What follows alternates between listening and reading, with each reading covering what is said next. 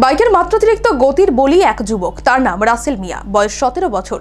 ঘটনা সোমবার সোনামুড়া থানাধীন শিউলি পার্ক সংলগ্ন এলাকায়। এই ঘটনায় আরও দুই যুবক জখম হয়েছে।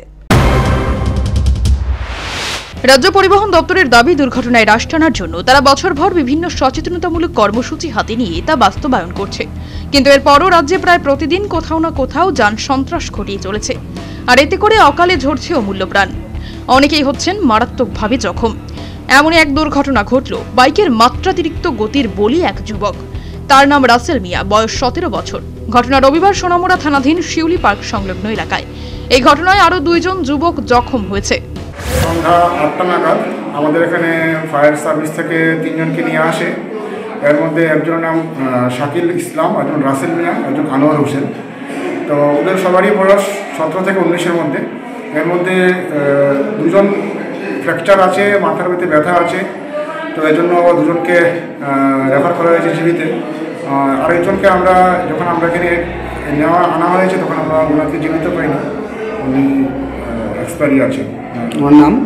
ওনার নাম হলো রাসেল এদিন T R zero one five double nine zero নম্বরের বাইক নিয়ে রাসেল মিয়া তার বন্ধুকে সাথে নিয়ে সোনামুড়া থেকে নতুন বাজার যাচ্ছিল।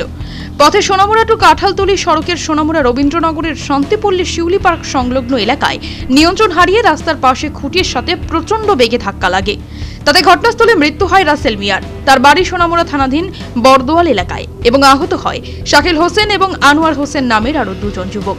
আহতরা বর্তমানে হাসপাতালে চিকিৎসাধীন। সোনামুড়া সামাজিক স্বাস্থ্য কেন্দ্রের কর্তব্যরত চিকিৎসক জানিয়েছেন, বাইক চালক রাসেলের মাথায় হেলমেট থাকলে হয়তো তার অকালে মৃত্যু হতো না। এখানে দেখা যায় অল্প বয়সের ছেলে মেয়েদের হাতে বাচ্চাদের হাতে এখন বাইক থাকে। এবং বাইক যখন চালায়, ওরা ওদের ম্যাক্সিমাম বাচ্চারা হেলমেট পরে না। এমনিতেই আঠারো বছরের নিচে বাইক চালানো উচিত না, কিন্তু ওদের বয়স আমার দেখে মনে হয়েছে এইটিন ইয়ার্স বা সেভেন্টিন ইয়ার্স কী করে ওরা ওদের গার্জেন ওদেরকে বাইক দিল, আমরা যেটা বুঝতে পারছি না। আর বাইক যখন চালায় ওরা হেলমেট কেউ পরে না। এবং তখন ওরা একটা প্রচণ্ড স্পিডে থাকে, ওই সময় কন্ট্রোল করা, দু চাকার জিনিস, দু চাকার যানবাহন স্পিডে থাকলে কন্ট্রোল করা কষ্ট হয়। ম্যাক্সিমাম কিন্তু অ্যাক্সিডেন্টগুলো এইভাবেই হচ্ছে। এবং সবগুলো বয়স টিনেজ ছেলেদের। এটা কোনো একটা বস্তুর সাথে ধাক্কা খেয়েছে কোনো একটা টার্নিং যতটুকু শুনেছি আমরা আমরা তো স্পটে দেখতে পারিনি। যতটুকু দেখেছি, খুব স্পটে জুড়ে ধাক্কা মেরেছে আদারওয়াইজ এভাবে এত মারাত্মকভাবে অ্যাক্সিডেন্ট হওয়ার কোনো দেখে দিতে কারণ থাকে না। অ্যাক্সিডেন্ট অ্যাক্সিডেন্ট অ্যাক্সিডেন্টই কিন্তু এটা খুব ভয়ানকভাবে অ্যাক্সিডেন্ট হওয়া হয়েছে। এই ঘটনায় সংশ্লিষ্ট এলাকায় শোকের ছায়া নেমে এসেছে। Bureau report news vanguard